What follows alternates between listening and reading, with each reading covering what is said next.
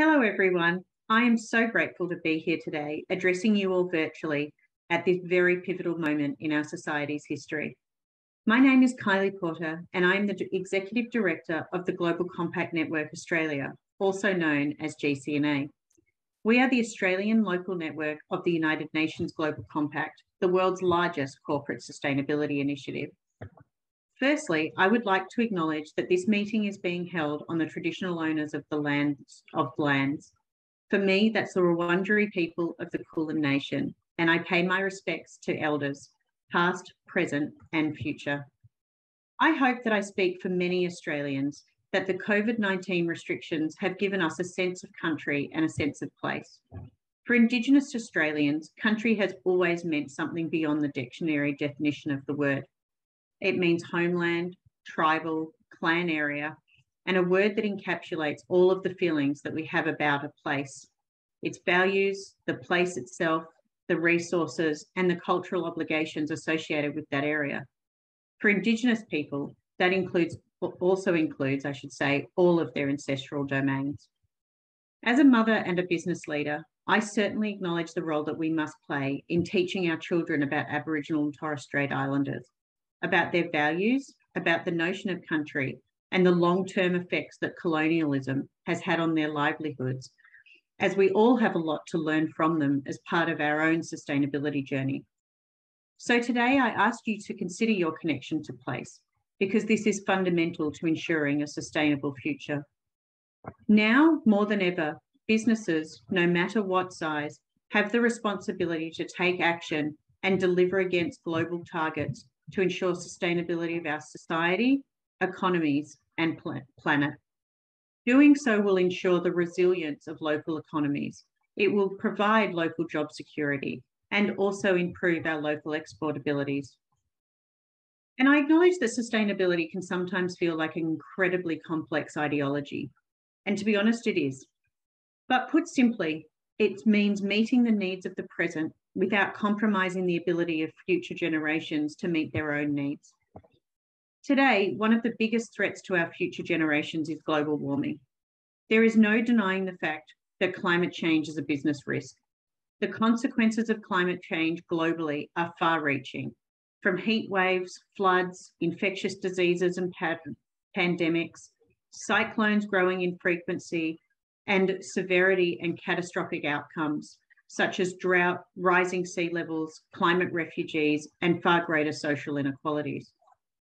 A few months ago, many of you will have seen that the Intergovernmental Panel of Climate Change, also known as the IPCC, released its sixth assessment report.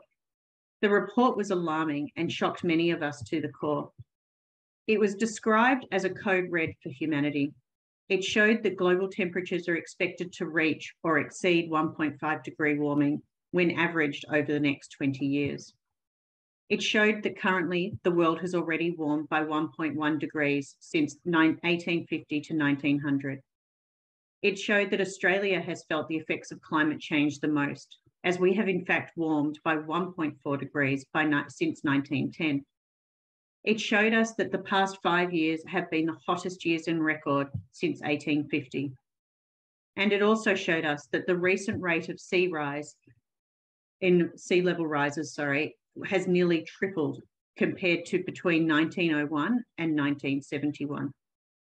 Without a doubt, the report states that global warming is unequivocally caused by human activities.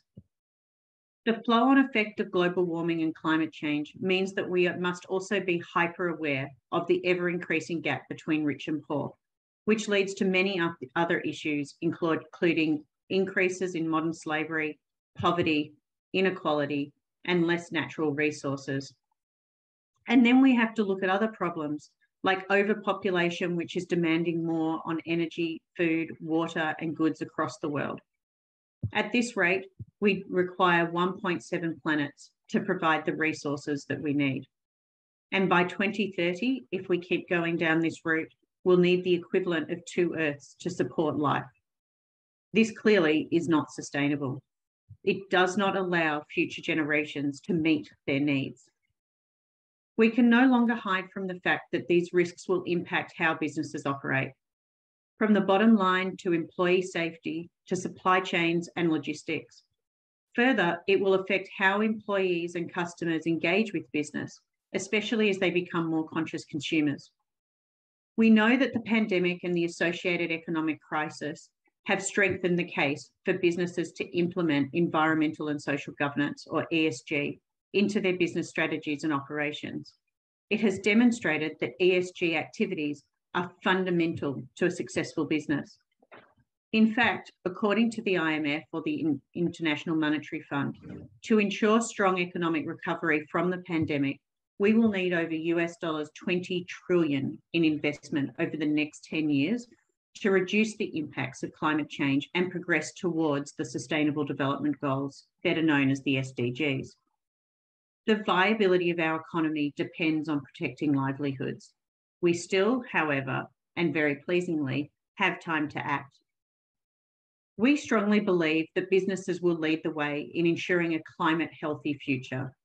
Local businesses have the power to change the narrative as the fuel for Australian economies for the Australian economy, I should say. Your actions and commitment is critical to influencing change. This means that businesses must commit to emissions reductions targets well below 1.5 degrees, and they do this by setting short, medium, and long-term commitments. Further, businesses must innovate their business models with circularity in mind, embrace technology, and set a vision for a sustainable future. At the heart of addressing sustainability is innovation, the need to approach all business problems with a human mentality and with unwavering leadership from business leaders who wholeheartedly believe in a prosperous future. We are seeing countries across the world do it, and there is no question in my mind that Australian companies can do this too and become real leaders in sustainable business practices. The pandemic has provided us with an opportunity to rebuild the world into one that we are proud of and one that we are happy to leave for future generations. The SDGs are key to ensuring that our future is inclusive, diverse, and sustainable, which with each goal having clear targets and indicators. Businesses can also use these as a benchmark for success. So, as global forces unite at the Conference of Parties 26 or COP26 right at this moment in Glasgow, all of us here today have a critical role to ensure that Australia is positioned as a global leader by in innovation, by delivering credible strategies and actions that align to a 1.5 degree science-based target. To conclude, let me leave you with this. This is the decade to deliver. It is a time to ensure that we treat our land, place, and people with respect. As UN Secretary General Antonio Guterres said in response to the IPCC report, if we combine forces now, we can avert climate catastrophe, catastrophe, sorry. But as today's report makes clear, there is no time for delay and there is no room for excuses.